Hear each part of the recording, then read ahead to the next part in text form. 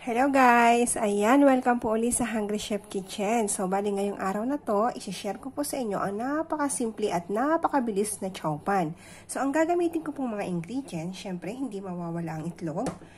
Uh, ito po, sausage po ang ginamit ko. May bawang ako, sibuyas, uh, mixed vegetable, at saka, um, syempre, hindi mawawala ang mantika, patis, at oyster sauce. So, bali po itong sibuyas, uh, ilalagay ko lang po, parang pinakang toppings niya lang, hindi po natin siya lulutuin. So, guys, uumpisahan ko na ang pinakamadaling chowpan sa mabilis na paraan. So, ayan, pinainit ko na po yung aking mantika. Ay, uh, sorry, pinainit ko na ang aking uh, kawali.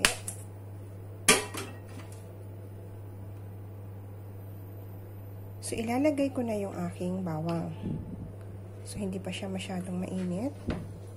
Okay lang po yan. Ayan, bawang po muna. So, isi-set aside po muna natin yan kasi pipirituhin ko yung itlog. Ay, sorry. Yung uh, sausage.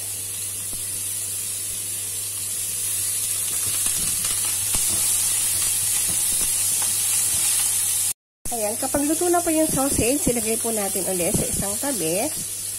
So, isusunod ko po, ayan, itlog. So, napakasimple lang ito, guys. Ayan. Ayoko po kasi ng uh, roasted, ay, sorry. Ayoko ng scramble egg. So, gaganyanin ko lang po yan.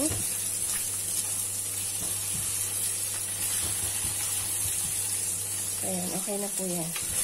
Set aside po muna. So, ayan. Ito na po yung uh, aking sausage. Susunod ko po ang aking mixed vegetable.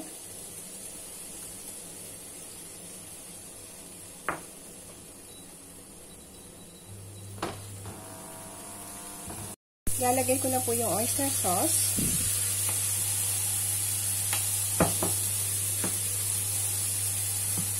Patis. at asukal. So, ayan, nilagyan ko po siya ng asukal. Pagkatapos po yan, ilalagay ko na yung kanin. Ayan. Ganyan lang po yan kasimple, guys. So, ayan. May simpleng uh, chow pa na ako. So, napakabilis po nito maluto. So, ayan guys. Ilalagay ko na yung aking uh, sausage at loob. So, napakasimple lang nito guys. Kung meron kayong mga kanin na kanin lamig, so pwede nyo gawin to. Simple lang, parang restaurant din lang.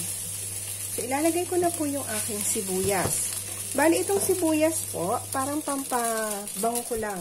Kasi wala akong spring onion, so sibuyas ang ginawa ko. Hindi na po kailangan lutuin yan ha. Papatayin ko na yung apoy. So, ayan. So, napakabango.